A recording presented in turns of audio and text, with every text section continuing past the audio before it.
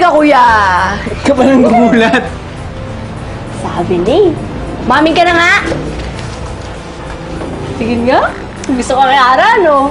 Alam mo, intrigera ka talaga. Matulog ka na nga. Tingin. Matulog ka na. Kuya, aminin mo na sa akin. Sige na. Oh. Huwag ka nga maingay, mamaya marinig ka ni Chang kung ano pa isipin nun eh. Kulit mo ito. Kuya, patingin na. Huwag na nga, kasi ang kulit mo, matulog ka na nga. Kamaingay, baka mamaya magising si Chang. Sige, patay ka. Bali pa tuloy yung lapis ko. Matulog ka na. Ganda ni Kara dyan, ha? Siguro tinitigan mo yung mukha niya palagi, no?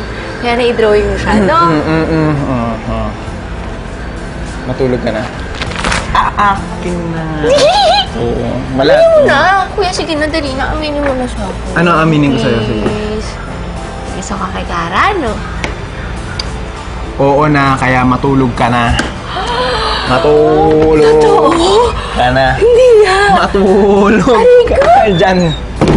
Hindi nga, kuya. Matulog ka na. Kuya. Huwag ka makulit. Hindi nga. Hindi nga.